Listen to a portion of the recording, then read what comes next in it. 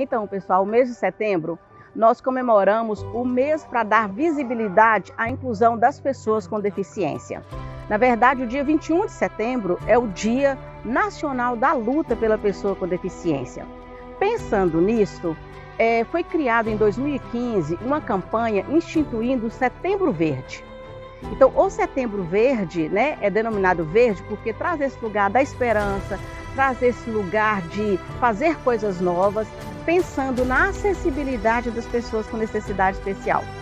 Tanto a acessibilidade atitudinal, que é nós nos colocarmos nesse lugar de mudar nossas ações, nossas atitudes, nossos sentimentos com relação à pessoa com deficiência, com necessidade especial, quanto à acessibilidade longitudinal. A gente realmente entender que a pessoa com deficiência ela tem condições de estar incluída em todos os segmentos da sociedade.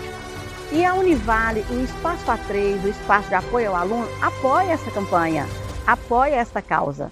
Então, nós apoiamos né, esta campanha que coloca o setembro como um mês para dar visibilidade à pessoa com necessidade especial, que é o Setembro Verde, um medo dedicado à inclusão, a pensar, a refletir e a conseguir conquistas para as pessoas com necessidade especial ou com alguma deficiência.